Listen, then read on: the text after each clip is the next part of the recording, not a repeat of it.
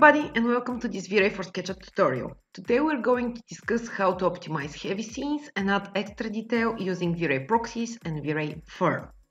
You know, when you have added a lot of geometry in your scene, sometimes it becomes really heavy to move around and work with. This is very inconvenient and an easy way to fix this is actually using V-Ray proxies. The proxies are a geometry optimization designed to make your scene lighter to work with and beautiful in rendering as the high detailed geometry was in the beginning. Mostly inside architectural scenes, used uh, notice proxies being used for trees. This is because trees are heavy and normally we don't make many changes after we've put the tree inside the scene. So here I have a lot of trees and let's start by exporting them as proxies. In order to do so, I need to select the tree I want to export as a proxy and in the V-Ray toolbar, click this icon, Export Proxy. There are just a few settings here and first, in order to organize the scene better, find a folder where you want to export those proxies. Name the proxy. Then for preview type, we're going to use refined clustering because it gives us a good approximation of the way the proxy would look, yet gives us a lot less polygons inside the viewport. Then for faces in preview, I'll select something around, let's say 4000, which would be much less than the original file.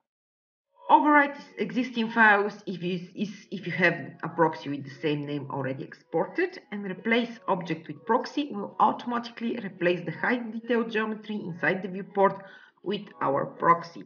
Let's click export.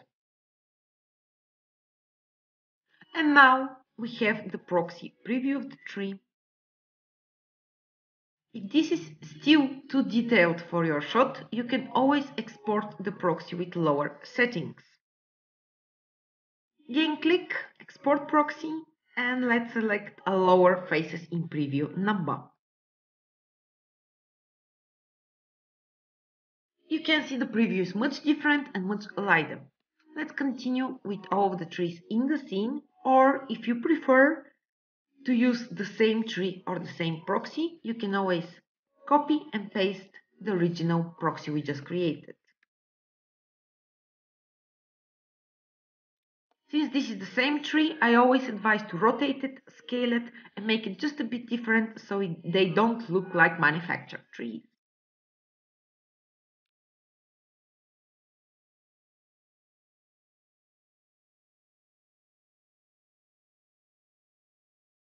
And again, we clearly see that this is the same tree, so I'll just delete the original and copy paste the proxy with a bit of rotation.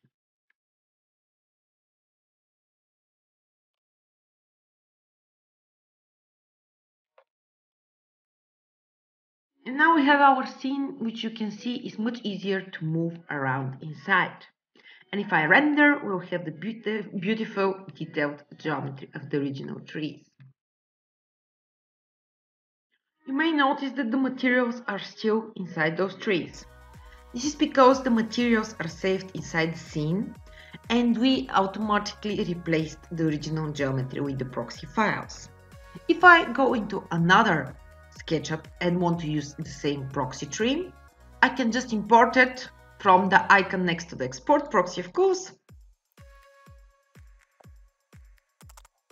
And if I render, you'll notice that we have no materials here. Some default slots showing us that there are different materials being used, but none of the original materials. In order to use the original material, be sure that you save the material from the scene you have exported the proxy from. We do this by going into the V-Ray asset editor, pick the uh, proxy material, and you can see that the material is selected in the asset editor. Be sure to save this one as the material for the proxy.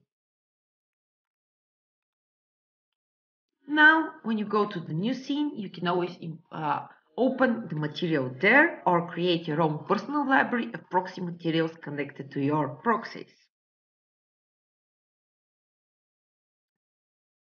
Of course, if you want to modify the materials, you can always go inside of them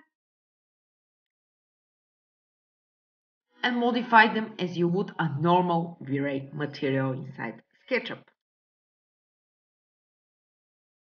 In this way you can optimize your scene to make it much easier to work with and continue adding more detail using additional features or just tweaking some settings. The detail of the proxy preview you need depends on your particular scene and I suggest if you plan on moving the proxy or uh, rotating it a lot to use a bit more detailed preview like the one here on the left and if you are sure that the proxy will just stand on its place the preview on the right with half of the polygons looks okay. We have our shot and one thing we can add here to make it more natural, even more inviting, is to add a bit of fur. We will use this fur to create grass around the lounge chair. I'll just zoom, zoom in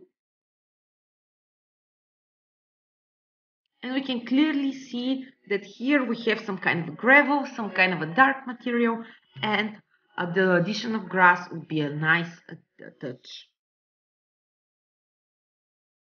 We create V-Ray fur by selecting the piece of geometry we want to add the fur to and clicking on the icon Add Fur. Be sure that the piece of geometry is either a component or a group.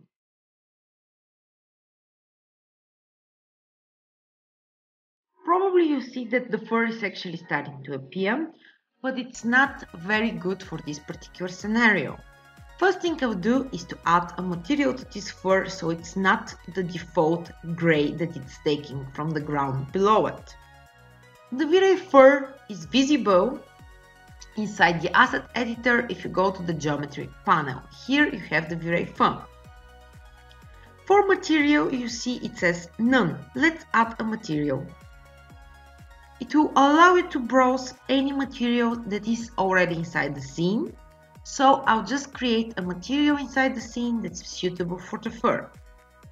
You can always use a custom material, but a very nice suggestion is to go to the ground materials of V-Ray, pick a ground material you like and assign it to the fur. It's not the best fur material and if you want to go in depth I suggest exploring the hair material which will create translucency but for most, most architectural shots this would actually do nicely. So going to the fur let's pick now the grass material.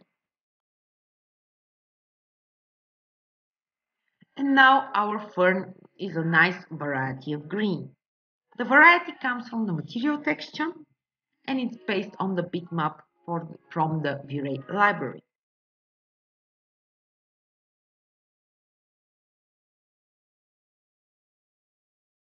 Next thing we can do is actually adjust the fur so it's more suited for this image. The main thing here would be to make it much more dense by making the count area number bigger. As you see, the fur is not visible in the viewport, only in the rendering. It's stored in your RAM memory, so have in mind making too much fur or making the fur in larger portions of the scene will make your scene use more RAM. This is my denoised result, it gives me better uh, preview, but if you want to be sure what's happening, you can always use the beauty pass we can see that this is too much for. So let's lower this number. Experimenting will give you the best results for the scene and, in the, and the interactive render is a great way to see them almost instantly. Okay, so we have a proper amount of fur. If you want to work with variety, you can always change the length of the fur, it will be in centimeters. So bigger values will give you longer strands. Sometimes even too long maybe because it's visible in the chair here. So thickness will change the mm, thickness, as the name suggests, of each individual strand. Taper will make them more pointed as you see in the preview, or if we make it to zero, they'll be the same thickness from beginning till the end. And a value of 1 will make them sharp in the end and thick in the bottom, which is the way that normally fur would look. If you want to add additional variance, you can play with the values here and making them bigger will make the directions variable while making the value 0 we make all the first strands point in the exact same direction. Great thing to do here is open a picture of the type of grass you want to achieve and start trying to recreate that. The curl is an interesting parameter which for grass I don't particularly recommend but if you want to use it for carpets, it will give you the great curling of each individual strand as the name suggests. Okay, so I'm happy with this result and let's look over my main shot. And as you can see, we have a very nice uh, clean viewport without unneeded pieces of geometry, while in rendering we see the beautiful detail of the proxies and the V-Ray fur. Now only thing left is to go grab a cup of coffee and leave this one to render. Thank you very much for being with us and hope to see you next time.